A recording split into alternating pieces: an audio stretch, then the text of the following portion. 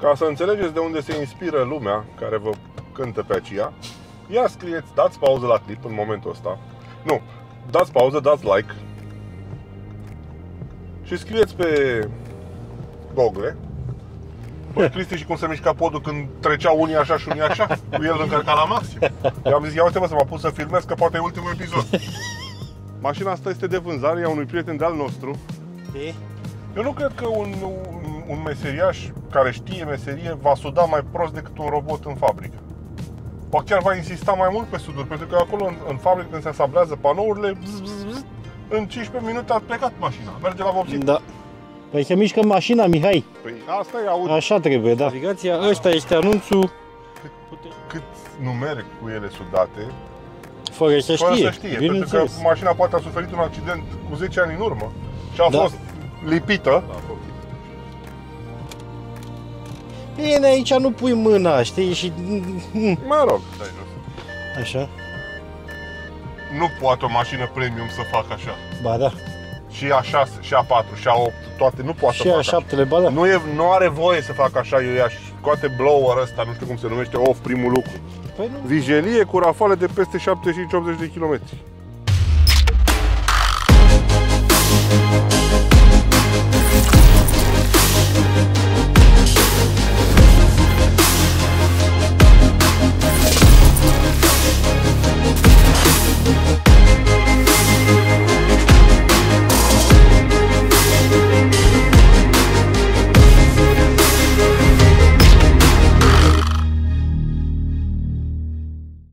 Domn Mihai, Domnul Lupu, să trăiți!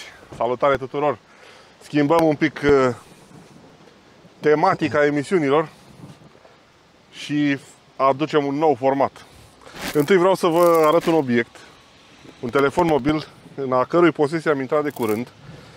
Uh, Este un telefon care se numește Oppo 7 Reno Lite. Nu Renault, Reno. Uh, E un telefon, un mid-range, dar este un mid-range care are jack stereo. L-am luat ca să putem face live-uri, pentru că la sculele noastre este nevoie de jack stereo. Și o să vedeți niște poze interesante făcute cu el. Uh, Așa la, nu l-am de mult, l-am de circa două ore cât am butonat la el. Am văzut că are o funcție care n-am mai văzut la niciun alt telefon. Un fel de ascundere a notificărilor. Așa că, adică dacă ne uităm doi oameni la telefon și îmi vine o notificare de pe WhatsApp de pe ceva, nu o arată privacy. privacy. Și a doua modificare a emisiunilor este că dacă vreți să vă vindeți mașinile cu ajutorul nostru, vă așteptăm cu ele la filmări. Însă, trebuie să acceptați că eventualele defecte majore, nu minore, pe care noi le vom găsi la ele, vor fi spuse pe film. Prețul este al vostru, nu ne băgăm la negocieri, la lucruri din astea, dar mașinile la fel ca cea de astăzi, sunt binevenite la noi în platou și în emisiune. Ne plouă, nu ne plouă, ploaia e belșug, domnul Lupu. Hai să dăm o cor să vedem ce avem aici. Am mai avut mașină din asta. De fapt, n-am avut în realitate, trebuie să mai ne luăm una din asta. Că e o mașină foarte interesantă. În episodul de la mare am filmat una simplă, cu motor de 2000. Asta este cu 3.0 biturbo. E cum trebuie. E cum trebuie. Și aia era cum trebuie. Dar sunt curios. Nu mai știu cât a consumat aia prin Mamaia, să vedem cât consumă asta. Păi să se uite ur- urmăritorii și la episodul ăla să vadă și să se uite Da, și da. la ăsta să... Mașina asta este de vânzare, e a unui prieten de-al nostru, dintr-o țară Danezia, Danarmeancă, nu știu cum se numește. Uite aici să filmăm S-a venit Descrie. rău alertul, Mihai. mie, domnul Lupu. Păi ție cui? Vijelie cu rafale de peste 75-80 de km. Și 35 Să de fiți litri pe sănătoși. metru pătrat. Asta e o chestie foarte tare, prezentă în țările civilizate, pentru parcări.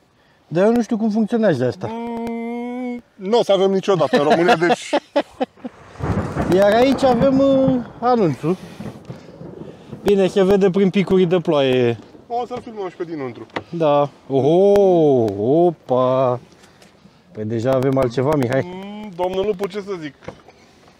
Mașină premium. Ia mișcă de mânerul ăla de la matale de acolo, de la ușa aia. Imediat să... Până îmi desfac eu tricoul.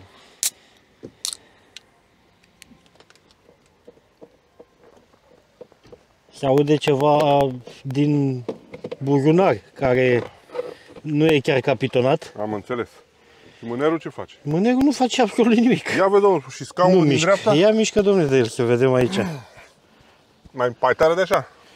Păi Hai să ce să mișcă și mai... ăla de la șofer, știi? Da, păi ăla e important. Știi că la X6 de la Sebeș am avut un șoc. Am crezut că e domnul Păun în, în service la DM. Păi se mișcă mașina, Mihai. Păi asta e, auzi. Așa trebuie, da.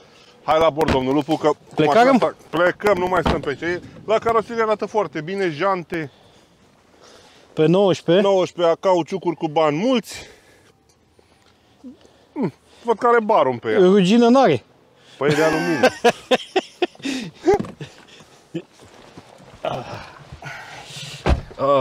Așa, Ia bun. uite, domnul Lupu, aici, bani străini. Coroane suedeze și cenți europeni. Păi, eu nu. Se confiscă. Da, păi de unde gumă de asta în România? Stimorol? Și Ai gumă? uite, Să nu fie oh, altceva. Stimorol, păi da, nu, nu, nu, e ce trebuie. Uh, vedeam reclame la Cartoon Network când eram mic. Cheia e la mine. Să te la văd de tine? unde o pornești.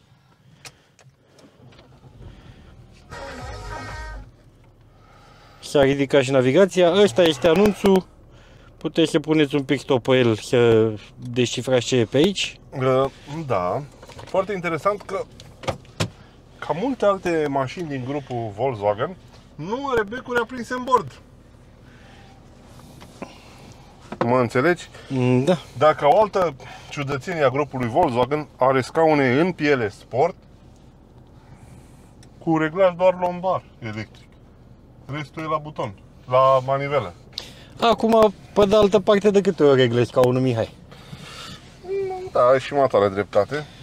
Ia să vedem dacă reușesc și eu cu o singură mână să mă leg. Unde lectoare ți-ai pus uh, centura în timpul filmărilor, ar trebui să... Da, reglajul la volan mi se pare destul de generos. Ai... Bă, am avut mașină de asta și am uitat cum se reglează pe aici. Short term. Long term. Uite, domnul, cu consum pe termen lung. Cu o viteză medie de 56 de km pe oră, 7,9. În ultimii 2600 sau câte erau acolo? Uh, 6200. 6200. Hai Bun. să-l resetăm pe ăsta, să-l ascundem, să-i dăm drive și să plecăm. Pa, pa. Bun. Roțile se simt. Pe aici ai tot felul de butoane pentru... Am pe auto. Ăsta cum îi zice? MMI sau cum e la, Da. la Audi? Totuși, are 10, nu, 12 ani de când a apărut. Da. Mașina asta este din 2012. Ai venit cu pui la filmări? Nu știu ce e chestia asta, e ceva. Da, Știi că am mai fil- am filmat ceva Mercedes-uri, bagele, ce-uri, bagele auri, ba chiar ce-uri, euri nu prea am prins. da. Mai ales din ăștia de generație mai nouă. Ce îmi place foarte mult la audio ăsta e faptul că bordul nu e foarte, foarte înălțat. Știi, încât să mă simt luminoasă. eu. Exact, e foarte luminoasă și... Hai, stai să mă dau și cu scaunul jos de tot.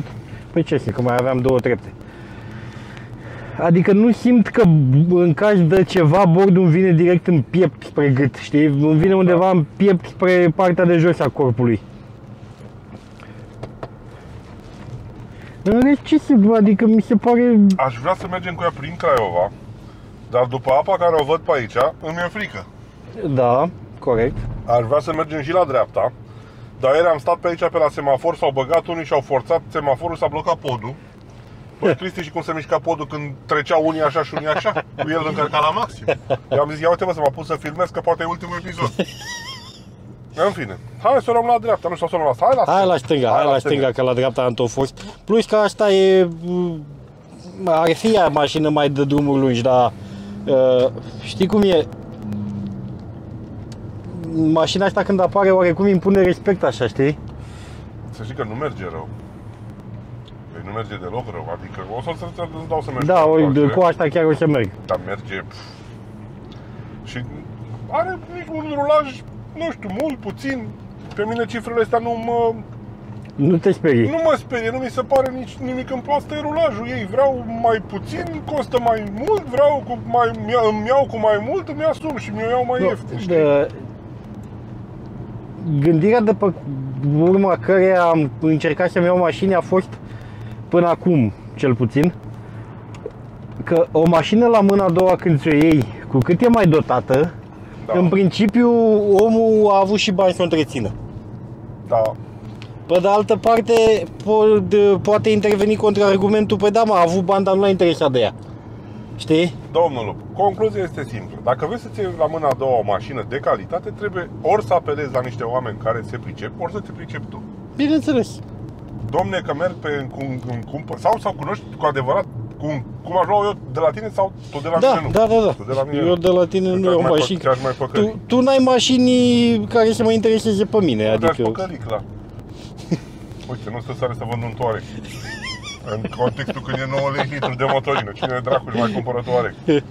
Uh, asta e toată chestia. Eu am spus și o voi spune la final. Bă, dacă nu, nu cunoști oameni care lucrează în domeniul auto, că e un mecanic bun, un vopsitor, un patron de service sau un patron de, vânz, de, mă- de magazin de piese auto, bă, du-te și cumpără mașină nouă. Dacă de Da. asemenea nu știi să schimbi un bec, nu știi să faci o pană, du-te și ia mașină nouă. Nici acolo nu e cea mai mare și acolo poți fi păcălit pentru Bineînțeles. că da, măcar vei avea o, o garanție scrisă pe 2, 3, 5 Ai o ani. garanție scrisă, ai o protecție a consumatorului pe care o poți apela în caz de ceva. Mă îndoiesc că România îți răspunde. Dar, în fine. A, a, cam asta e toată povestea. Lucruri din astea, domne, m-a înșelat X, m-a înșelat Y. Te-a înșelat doar că ai acceptat să-i dai prețul potrivit pe ea. Nu, pre- prețul nepotrivit. Uh, Pe de altă parte, Mihai, știi că e și vorba aia că fiecare mașină și are prostul ei. Acum, iară, nu e prost cine cere, e prost cine dă. Tu știi că din sutele de oameni care au venit pe aici, un singur băiat a venit cu o mașină lovită și făcută prost. Dar Mhm. uh-huh. nici mașina aia nu fusese lovită răsturnată de 10 ori. Fusese șifonată pe ambele părți și preparată românește.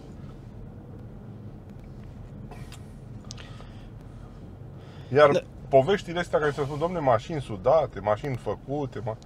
cât, cât nu merg cu ele sudate, Fără să fără știe. să știe, pentru că Bineînțeles. mașina poate a suferit un accident cu 10 ani în urmă și a Da. fost lipită și merge de atunci.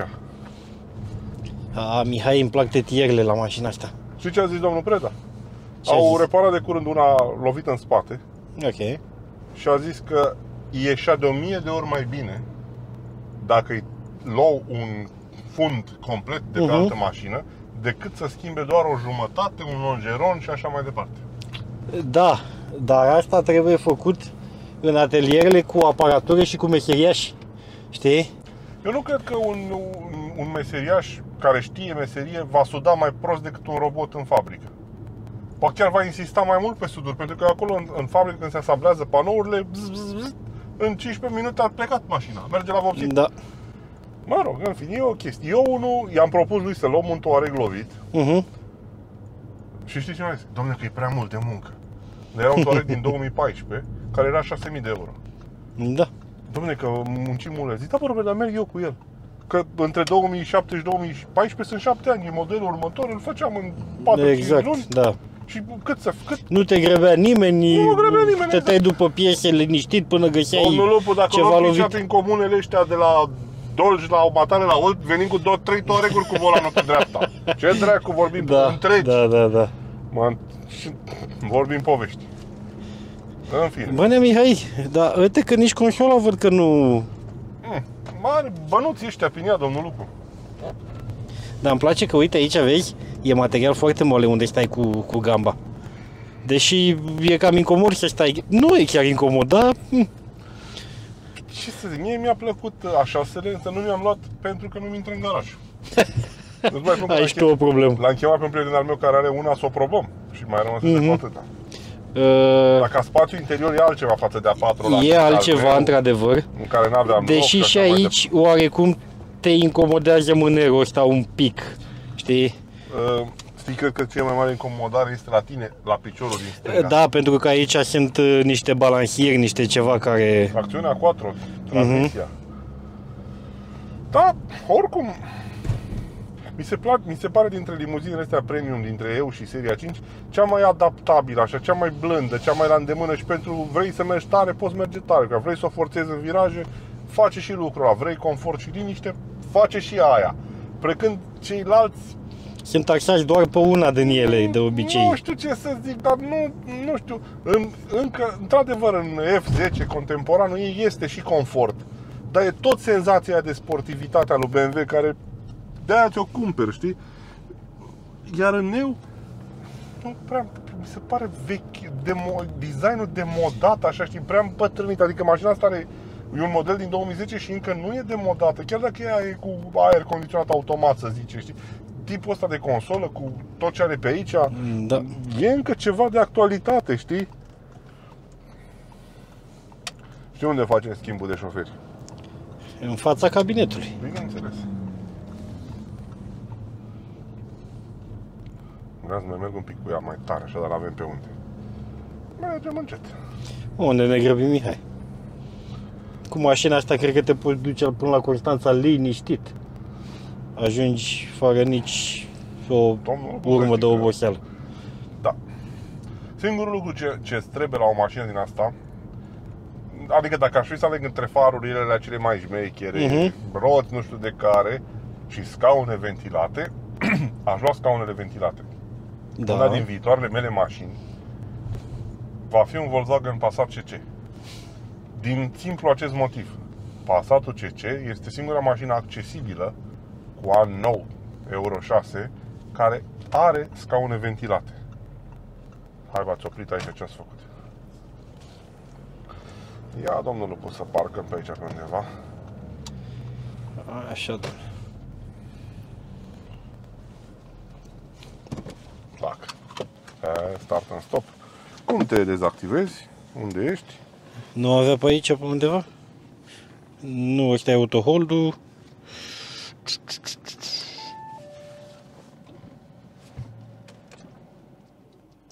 Și ai oprit-o. Ah, fii atent. Fii atent, înainte să dai jos. Așa? Nu poate o mașină premium să facă așa. Ba da. Și A6, și A4, și A8, toate, nu poate Și să a facă șaptele, ba da. așa. Nu, e, nu are voie să facă așa, eu i-aș scoate blower ăsta, nu știu cum se numește, off, primul lucru. Păi nu, mie, mi- N-am reușit la a mie mea. mi se pare...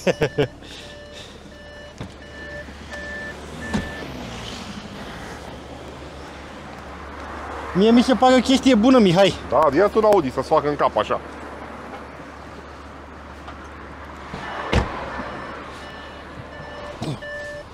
Ia Am domnul. coda automată și la fel face.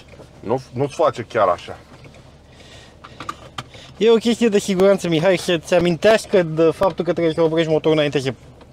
E, pentru chestia asta, ăia, ăia alți care au reglat și volumul la ding-ding, știi? A, ok, bun, da, că ai și reglaj de volum. Net superior. Domnul Lupu, știi de ce n-aveai loc, nu? Pentru că era scaunul dat așa. Pentru că e scaun cu din ăla cu reglaje și așa. A, iartă-mă pe mine. Păi ia uite-te acum, o să-ți arăt imediat. Să-mi pun și eu centura. Te ajut? Uh, nu, îmi place că nu avem plafon negru. Deși mulți preferă plafon negru. Da, Nu-mi dar place. plafonul negru oferă senzația de claustrofobie una peste alta. Exact. Servodirecție foarte ușor, Mihai. Păi ți-am spus. Avem padele. Chestia care nu sugerează premium, să zic așa, mi se par manetuțele astea. Sunt... Nu, nu, ia apasă pe plasticul ăla de la ceasuri. Nu, nu, pe la acolo. Bine, aici nu pui mâna, știi? Și... Mă rog. Arată-i maneta. Sunt cu frâna de mână Fac. acționată. Oh, ce frumos. Domnule, sunt uh, Și fără 313 să... cai da. aici. Dintr-un motor care e o evoluție. Și o facem în stânga un pic? Nu, ia-o înapoi pe așa. Vezi cu domnul cu pasatul, nu vine în noi. Uh, 3 litri ăsta de la Audi și Volkswagen, el trece prin evoluții, de la Euro 4, Euro 5, Euro 6, diferite coduri, diferite tipuri de distribuție cu 3, cu 4 lanțuri. Mm, Sunt, cred că vreo 7 sau 8 combinații. Vezi ce înseamnă să ai mașină mare? Dar, pentru cei uh, foarte interesați de documentație tehnică, ca să înțelegeți de unde se inspiră lumea care vă cântă pe aceea, ia scrieți, dați pauză la clip în momentul ăsta. Nu, dați pauză, dați like și scrieți pe Google Volkswagen 30 TDI Engine SSP Files. Aceste fișiere SSP sunt un fel de gral al acordeoniștilor din lumea întreagă. În limba engleză, franceză, spaniolă, documentație la nivel de șuruburi despre atât despre motor, transmisie, parte electrică, chiar și elemente de caroserie. Se găsesc aproape pentru toate mărcile și pentru majoritatea modelelor aflate în circulație. E doar o chestiune să cauți. Bineînțeles, să știi limbi străine, să-ți interpretezi informația respectivă și să mergi mai departe. Pentru cine e interesat însă de ce înseamnă să deții o mașină, trebuie să se aboneze la canalul nostru. Să apăsați pe like și pe clopoțel ca să fiți la curent cu tot ceea ce postăm. E, domnul Lupus, că îmi place. E, știe, domnule, și de astea. Știi și cum ei, e? și ei îi place, nu doar Știi mie. cum e cu mașinile astea cu putere? E ca atunci când ai un sistem audio performant. Poți să asculti și tare și încet.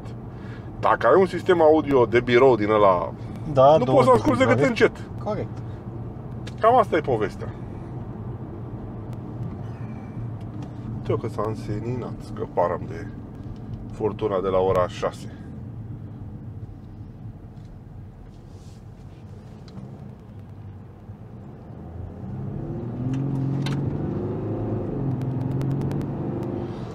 Dacă chiar vrei să faci uh, aroganța maximă, trebuie să dai și cutia pe S.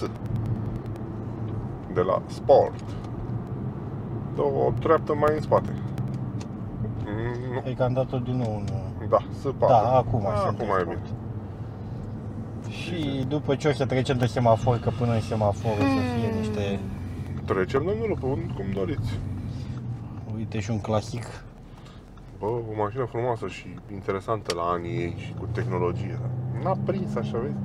Oricum, de exemplu, dacă vorbim despre Peugeot, Peugeot tot timpul vine cu soluții de toate felurile, de toate... Nu, Bă, dar nu vinde... prea se înclină mașina Ei, asta. bravo, domnul. Nu vinde, el prea, nu vinde prea multe, dar reușește să fie acolo în cărți. Și are și kickdown. Oh, oh. Permisul, Ușor că mi-l ia. permisul. Domnul Lupu. 3 litri e ce trebuie. Uh, vorbeam zilele astea cu un urmăritor fan Honda. Dar Honda are vreun V8. Cred că nici pe benzină n-are vreo. Păi asta zic. Bun, ai motoare... Opa, și aici e balamucă, nu... Aici iau un ce, ce fii Cum se atent. întâmplă? Cum a plouat un pic, cum nu mai merg semafoarele, nu? Da. Asta mă, mă gândesc așa, bă. Bun, faci niște motoare aspirate, bune, le pui și turbină, le faci și pe alea bune. Mai faci și cu oil dilution. Dar dacă e să intri în liga celor mari, trebuie să te cheme să ai un nume mare. Toyota. Evident, are V8-uri. Dar ca să ai și niște motoare cu putere și economie, le mai oprești cilindrii, le mai pui hibrid, îi pui plug-in hybrid, o bagi în priză. Dar tot ai mai multe chestii la comun. Uh, La ăștia europenii noștri care mergeau cu submarinele cu motorină și ceva mai târziu reușiseră să le facă să meargă, dacă mai ținea războiul la câțiva ani, mergeau pe atomic. A apărut tehnologia asta a lui domnul Rudolf. Iar în filmele alea vechi cu submarine vedem ansamble așa de blocuri motoare cu pistoane multe în linie care merg tic, tic, tic, tic, tic, tic, tic, pe motorină. De ce? Fiabilitate, consum scăzut, viață lungă. Și chiar dacă acum se s-a a, a, a cântat Uniunea Europeană, domne, în 2035 am terminat cu voi, gata, vă băgăm în priză. uh, nu e chiar așa, pentru că până în 2035 se mai schimbă vreo trei legislaturi de parlamentari europeni. Și... Bă, ce doamnă agentă. Nu ne-a oprit. Ghinionul dânsei. Și s-ar putea ca parlamentarii din 2035 să zică, bă, bă, terminați cu prostiile, că uite ce Mai vrem. amânăm 35 de Mai ani. amânăm 35 de ani. Sau s-ar putea ca până în 2035 o, mu- o unele din țările din comuniunea din Uniunea Europeană să nu mai fie în această Uniune Europeană. Da. Și din nou, noi aici în, Eu- în Europa producem foarte multe mașini care merg și pe alte continente. Ce facem? Le trimitem acolo și le reimportăm la mâna a doua?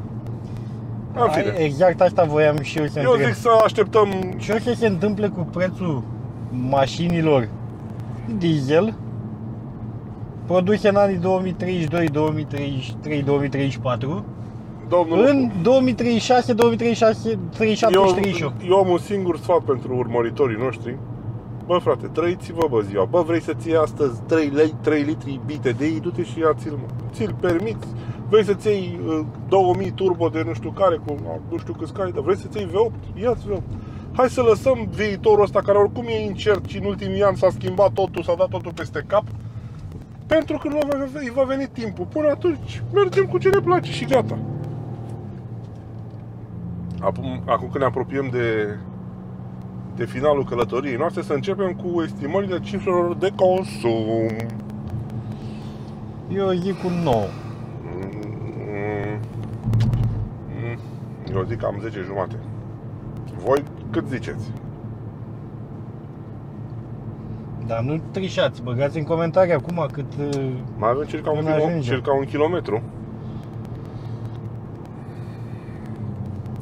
Pentru că în contextul ăsta, în, în, gen, în perioada asta care o trăim noi acum, după 2021-2022, când totul a prețurile la energie, la combustibil sunt sus și văd că șanse să coboare decât în Ungaria au fost, bravo lor.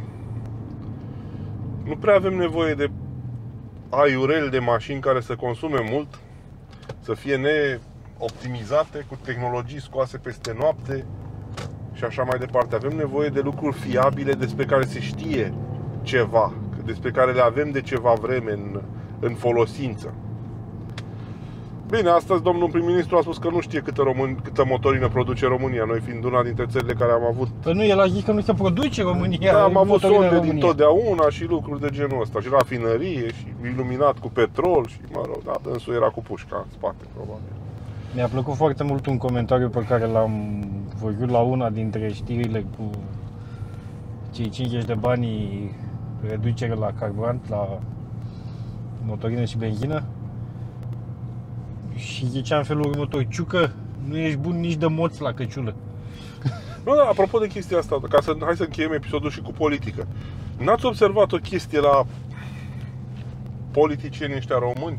Mai ales la cei care ocupă funcții de gen prim-ministru, președinte al Senatului Funcții din astea cheie care ne dictează la toți destinele Ei, ăștia sunt oameni care vin din neant Din neant Nici măcar nu sunt niște tradiționale ai partidelor Sunt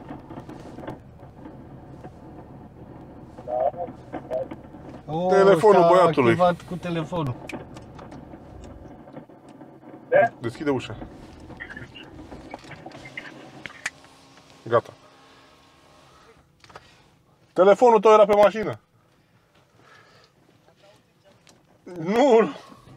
Ok, hai să ne uităm la consum acum. Dar așa să terminăm cu politica. Ah, ok.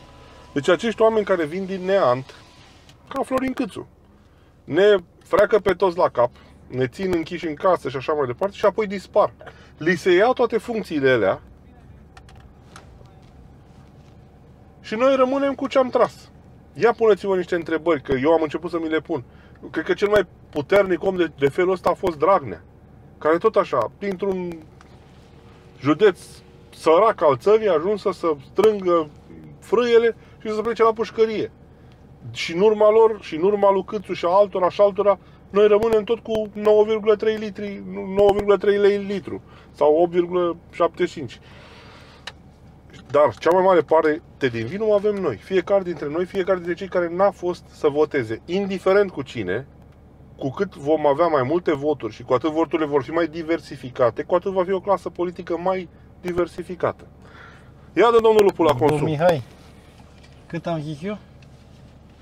Eu am zis 10,5 parcă. A avut 9,2 când am ajuns acum, că am mai stat un pic, a crescut pe 9,3. Deci am mers cu ea în oraș, un pic în trafic. Da, și N-am prins trafic bară la bară. e tot, exact, și e totuși o viteză de 32 de km la oră, nu e bară la bară. Bun, să zicem că la o mers de bară la bară se duce la 10 Ajunge jumate, la- 11. Da, la ce ai zis tu? Păi să ne explice, dă, întoarce camera, să ne explice fanii benzinei cum poate o mașină cu 300 și ceva de cai, de dimensiunile și de volumul și greutatea astea, să consume 12% într-un oraș, iar una pe benzină de 150 de cai, mult mai mică, să consume tot atât în același oraș. Hai, ne vedem curând în noi și noi episoade. Bye, bye! bye. bye.